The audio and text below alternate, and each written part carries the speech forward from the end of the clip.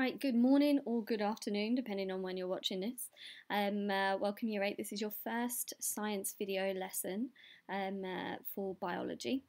We're going to start a new topic on types of microscopes. So what I suggest you do is you make sure that you're sitting comfortably, make sure you've got a pen and paper um, to write down some notes, but you also are more than welcome to type up your notes if you can do that on your computer. Uh, but if you're watching this on your phone, you're going to need uh, a pen and paper. Please start by writing down the title at the top there that just says types of microscopes. And once you've done that, have a look at the starter questions that I've put on the board for you. These are really just to gauge where you're at, um, what you know and what you remember about microscopes. So uh, the first question just says, what are living organisms made up of? And how is this different to things that are not alive? And I don't mean things that have died, I mean things that were never alive in the first place. Okay, so we're comparing trees to metal or plastic, things that were never alive in the first place. There is a little super challenge at the bottom of the board there, so if you do really well with the first two questions, you find them easy, then have a look at that as well for me, please. So what I suggest you do now is pause the video, have a little think, and then we'll see where you are. Right, what are living organisms made up of? I'm going to try and psychically guess some of the things you've said. Uh, you might have just gone pretty vague and said, I don't know, stuff, um, you might have said DNA, which is true, there's DNA in there. You might have said cells, in which case, fantastic, that's what we're after. Living organisms are made up of cells. You might have said proteins, that's just as correct as well. And if you're thinking really, really small, you might have said atoms and compounds, um, which is a little bit more physics and chemistry uh, than it is biology, but you're not wrong. Um, uh, how is this different to things that are not alive? So, things that are not alive and never were, so metal or plastic, they're not made up of cells. Uh, they're going to be made up of uh, atoms um, and compounds, but certainly not anything that we'd recognise as a cell. So well done with those two. If you had a little go at our super challenge, fantastic. The super challenge says uh, that in medieval times, people did not believe in things that they couldn't see. And if you did believe in things that you couldn't see, people kind of eyed you a bit suspiciously, uh, maybe thought you were a little bit mad. Um, but now we know that actually there are things all around us that we can't see. We know that bacteria exist, and the question just wanted you to think about why people's ideas changed about things that we can't see. Really, um, it was evidence that helped to convince people, particularly things with like infectious diseases. We know that bacteria and viruses are all around us, and if you touch someone who's infected and don't wash your hands and then touch somebody else, we know that that other person could get sick.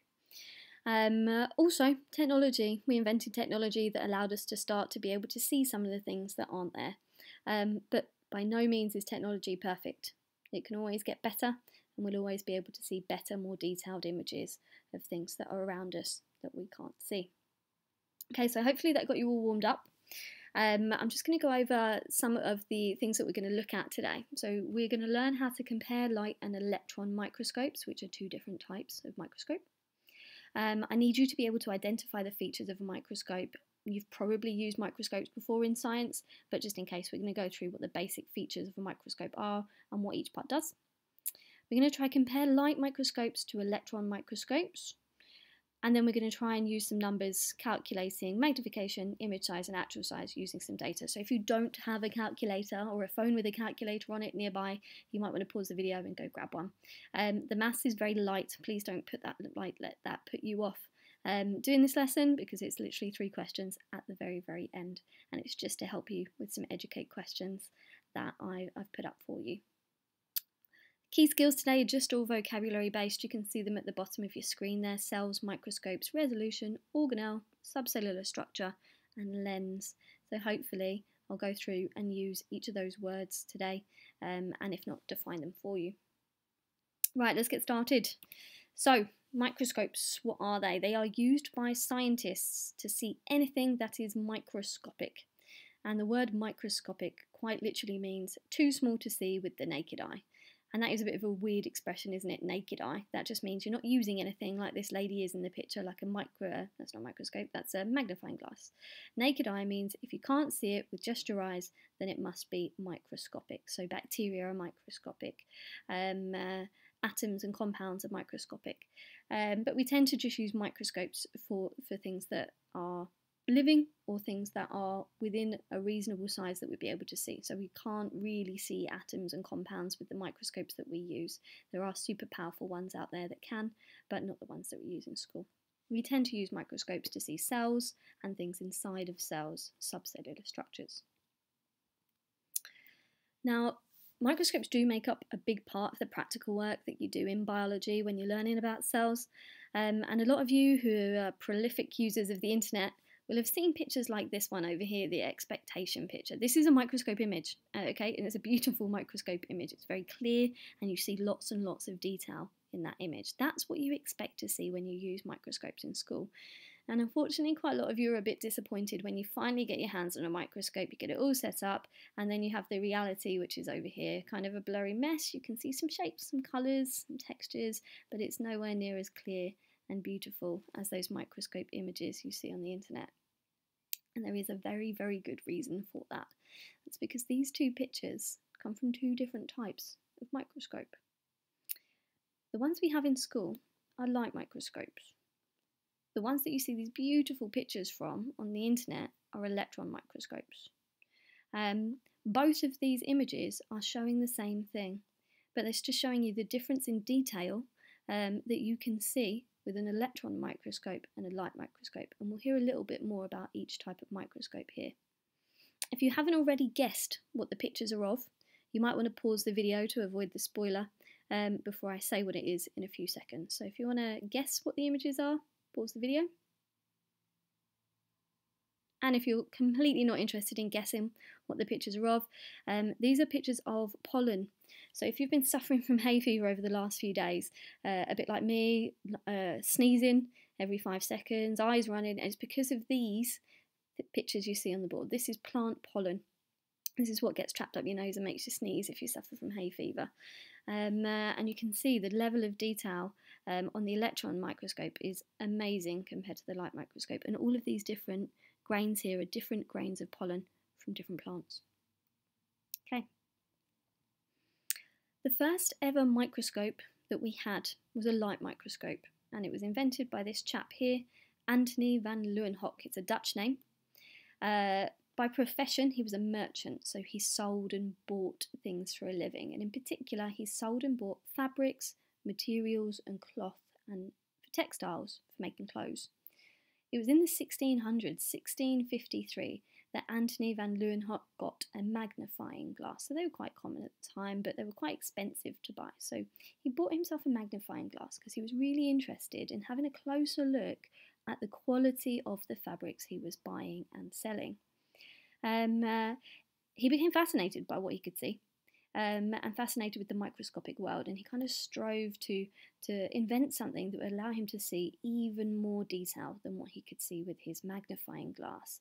Uh, and being a clever guy, he invented the first primitive light microscope. Now, if you fancy looking up a picture of the light microscope that Antony van Leeuwenhoek first designed, it looks nothing like the light microscope you've used in school, and that's because the technology has come on a long way. The light microscopes we use in school look a little bit like this. I couldn't find an exact picture. You might remember the ones we have in school have a little lamp that plugs in here. Sometimes it falls out, whereas this one's got the lamp built in. That's the main difference. With your pen and paper, what I suggest you do is I suggest you jot down the names of the different parts of the light microscope that are on your screen at the moment, and maybe just one or two words about what each part does. I am going to go through each one as well as the information that's on the board or on your screen. We'll start at the top here. One of the most important pieces of a, a, light microscope is an eyepiece lens, and it's called the eyepiece lens because that's where your eye goes on the end there. And your eye looks through the light eyepiece lens down here. Oh, sorry. Um, the eyepiece lens is usually a times 10 magnification. That means it makes whatever it sees 10 times bigger. Down through the eyepiece lens are your next set of lenses. A light microscope has two different lenses and they multiply uh, the same image twice. So it, this makes it 10 times bigger. And down here, your objective lens, um, there are often three of them. You can twist this round uh, and choose which one you use. You always start with the smaller objective lens so you can find the image you want and then you use the bigger and bigger lenses to get more detail. So normally these are times 4, times 10 and times 40 magnification. So if you use the times 40 and the times 10 eyepiece magnification in total, 10 times 40 is 400, so your image would be 400 times bigger. Whatever you're trying to look at goes on here on this black flat layer called the stage. And just like in performing arts, the stage is where all the action happens, and that's the same with a microscope. There are some stage clips here to hold what you're looking at in place so it doesn't get knocked, um, but your microscope slide, your glass slide, would sit on here. Underneath it, that is a small hole, and that small hole is there so that this light source here can shine light up through your sample, through the objective lens, through the eyepiece lens, and into your eye. At school, we have a lamp that slots in here. Um, you might have a lamp that you just switch on, or you could even have an, a mirror that will reflect sunlight from a window up into the microscope and through the image, through the slide to produce image. The last bit of the microscope you need to use um, is the focusing dials. There are actually two here. There's the larger circle, which is the coarse, which means rough focusing dial, and then the smaller one, which is the fine focusing dial. And what they do is because everyone's eyes are slightly different, your friend might be looking down the microscope and saying, saying, Wow, look at all these cells I can see. And then you look down there and you can see nothing, and it's just a blurry mess. That means that you need to focus it using these focusing dials for your eyes. Um, so it helps to make the image a bit less blurry and a bit more in focus. Okay, if you need to pause the video just to get down a little bit more detail, if I was talking quite quickly there, please do, and then join us on the next slide. This slide here is just weighing up the good and the bad parts about light microscopes. It's evaluating light microscopes. The reason we have them in school is because they're cheap to buy, and I say they're cheap to buy, they're cheap-ish. Um, uh, they're not cheap, but they're affordable for a school. They're easy to transport to, which is really useful if they need to move them between classrooms for different biology classes. But the problem is they have a really low magnification. They can't actually make images of cells that much bigger. Um, big enough for us to see, but not big enough to see everything that we want to see. Light microscopes, the samples, the things you're looking at have to be very thinly sliced. So if you've got something that's really valuable, the last thing you want to do is slice it into thin slices so you can see inside of it. They also have low resolution or low resolving power. Now we're going to talk about these two, magnification and resolution resolving power in a second. And we've got definitions here if you'd like to pause the video and write down the definitions to help you understand what those two words mean. The first one we'll have a look at is magnification. Magnification just means to make something appear bigger than it actually is. And we've got here what a plant cell, uh, sorry, an animal cell would look like under a light microscope. Um, it's big enough to see, which is an improvement. With the naked eye, you wouldn't be able to see an individual cell like this at all. But you can't really see much. You can see the outline of the cell, the cell membrane. You can see this dark spot in the middle here. This is the cell's nucleus. And you've also got the cell's cytoplasm here, but you can see these little flecks that hint at other things being inside the cell, and this is a whole other separate cell. Low resolution or resolving power talks about the level of detail you can see in a picture. Um, and just to prove my point, I've got two pictures here of the Eiffel Tower. They're both taken at the same magnification, because the Eiffel Tower is the same size in both pictures, but they're taken with different resolving powers. The images have different resolution. This one has much greater resolution, so you can see much greater detail on the Eiffel Tower. And then over here, you can see much less resolution, and it's just a blurry mess, much like you would do looking down a microscope. To solve that problem, with the light microscopes not having enough detail and enough resolution or magnification, another type of microscope was invented in the 1930s. I say invented in the 1930s, the work started in the 1930s, but it was being improved all through the 1940s, 50s, 60s, and that's still being improved today. Electron microscopes use just that, they use a beam of electrons instead of a beam of light. They have much better magnification, much better resolution, and they can produce 3D like images. They can also see many more subcellular structures. And a subcellular structure is anything that's inside a cell. So this is what we saw in a light microscope. We saw the outside of the cell and we saw the nucleus, which is a subcellular structure. But under an electron microscope, we can see this a 3D shape of the cell and many more subcellular structures inside the cell. There are many names for subcellular structures, and you do need to know the individual parts when you get to GCSE and even some in year 7 and 8, and then even more if you go on to do A level biology. But subcellular structures, you might hear them called organelles, that's another name for subcellular structures, or you might hear them being called the internal structures of a cell. Electron microscopes are fantastic because they can produce such a high resolution image that you get lots and lots of detail of what's inside of an animal cell. But the problem is they're very expensive, and when I say expensive, I mean millions of pounds. Schools can't afford these, so that's why you've never seen one or used one in school. There aren't very many in the UK as a whole, mainly in big research institutes where scientists are learning new things about cells. They're difficult to move. I don't know if you can see in this picture, it's attached to a computer. There's a lot of machinery in the background. They use a lot of electricity. They're too hard to move between room to room. And actually, they only produce images in black and white.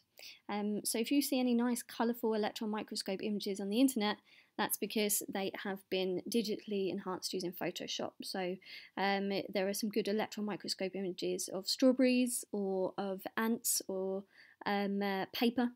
Um, if you look them up on Google Images, and you'll see that a lot of those are in colour, and that's just all been added in afterwards.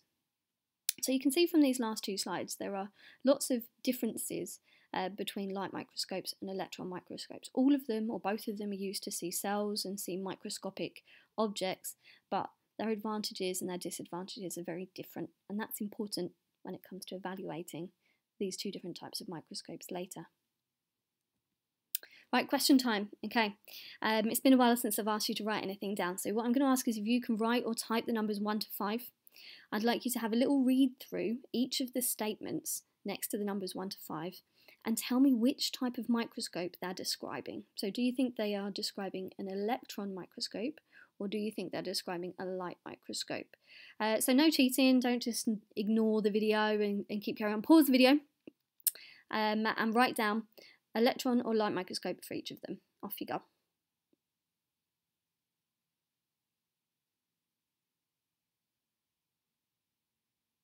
Okay, uh, let's see how you did. Um, uh, so, 1 to 5. Um, producing black and white images only is an electron microscope. Has the worst magnification of the two, that's the light microscope. Affordable and can be used in schools, that's the light microscope. Was invented first, also the light microscope. Kudos to you if you can also remember the name of the, the gentleman that invented it. Has the best resolving power, the best detail, that's the electron microscope. So just toss up how many you got out of five, and well done to you if you got three, four, even five out of five there. Well done. Okay, the hard part at the very beginning, I did give you a little sneaky warning that there might be a bit of maths coming up in this uh, video lesson, and here it is. Um, so if you didn't grab your calculator earlier, please do pause the video and go off and grab your calculator now, or open the app on your phone. Okay, I say the hard part, it's not really that hard, it's just harder than the other bits that we, we've learned already about microscopes. Let's have a look at this question. We've got a leaf is viewed under a microscope using a times 10 magnification. Its image appears to be 50 centimetres long when you look down the microscope and see it. But how big is the leaf's actual size? Um, so we've got an equation here and a little equation triangle to help you rearrange it, but actually they're all typed out here. So what you might be best doing is pausing the video and writing down these three sums. Um, we're going to use each of those um, in a moment. Okay, so the first thing you need to do, and my best advice, is look at what the question is actually asking you. How big is its, the leaves, actual size? Um, so you're going to want this one actual image or actual size. And I know this is quite confusing, the wording, because we've got image here, we've got image here, we've got actual. Um, actual means what you're actually talking about, the leaf. Image means what can you see when you look down the microscope. And magnification is how much bigger is it. So in this case, what you'd need to do is you'd need to use this top one here. How big is its actual size? Actual size equals the image size divided by the magnification. So the image size is 50 centimetres divided by 10. So 50 divided by 10, the leaf is actually 5 centimetres long before it's been looked at down the microscope. well done if you got that. We're going to have a, a go with one of the other examples now. But you're going to have to do this one yourself, so good luck. Right, a mushroom. A mushroom's actual size is 2 centimetres long. If it's viewed under a microscope using a times 2.5 magnification, how big will the image of the mushroom be? So the question's asking you, how big will the image of the mushroom be? So have a look at the different equations down here. Decide which one you're going to use to find out the actual image size of the mushroom. Pause the video and see if you can use the numbers to figure out. Okay, pause the video now.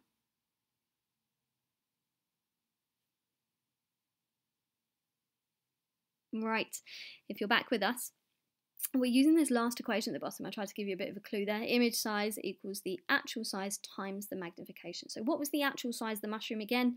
It was 2 centimetres. Um, what was the magnification of the microscope? It was 2.5. So we want 2 times 2.5. Then the, the mushroom will appear to be just 5 centimetres long. Okay, last one. A 3 millimetre ant has been magnified by a microscope and the image from the microscope appears to be 240 millimeters long. What magnification was used? Okay, look at these down here, look at what the question's asking you, pause the video and try and put the numbers in. Okay, pause the video now.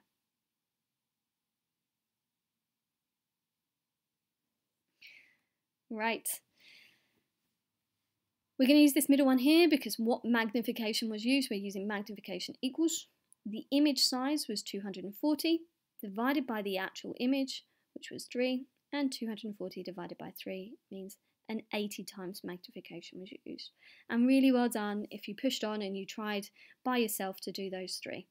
Um, uh, well done if you've practiced. If you haven't practiced, there are still more questions on Educake um, that you'll need to use this information to complete. Your last job, just to show that you were, were paying attention as we've been going through the video today and you haven't just skipped to the end, is I'd like you to produce a piece of work. Now you can write this, um, you can do it on the computer, you can do a poster, a mind map, um, a paragraph, I really don't mind. Um, as long as it has the following information in it. So give it the title, Comparing Electron and Light Microscopes, I'd like you to include some information about the history of light and electron microscopes. So we mentioned the dates in this video when they were first invented. We mentioned the name of this gentleman here. You might also want to look up um, a gentleman called Robert Hooke, who did a lot of early work with microscopes and microscopic organisms. Next, I'd like you to compare light and electron microscopes. So there was a lot of information in today's lesson about how they're similar and how they're different and I'd like you to write that in sentences. The light microscope does this, whereas an electron microscope does that. And lastly, there's a challenge at the bottom there. It says to describe what extra information scientists have been able to learn using electron microscopes. In particular, you might want to look up the word ribosomes and find out what we've been able to learn about ribosomes using electron microscopes, um, but there's meant lots of information out there on the internet. Feel free to Google it, it's not cheating, um, it's just helping you read around the subject and learn extra information. Any work that you do, would be absolutely fantastic if you could email it to us, your science teachers, um, at the Cowley Science Department. You can find our email address on the Cowley website along with the email addresses for all the other departments in school. Um, uh, give your work the title Microscopes and I'll make sure it gets to your science teacher and you'll get some feedback on that too. If you're working on paper, just snap a picture of it on your phone. It doesn't need to be scanned or high quality or anything like that. Um, uh, and if you're working on the computer, just email it as an attachment. Lastly, you need to get yourselves over to Educake um, to complete the quiz on this lesson, just to prove that you have taken part, you've picked up some new information, um, and your teachers will be able to see your scores for that. The last thing we're just going to do is have a look at what we aim to do today. Hopefully, by the end of this video now, you should be able to identify the features of a microscope. You should be able to compare some of the features between a light and electron and microscope.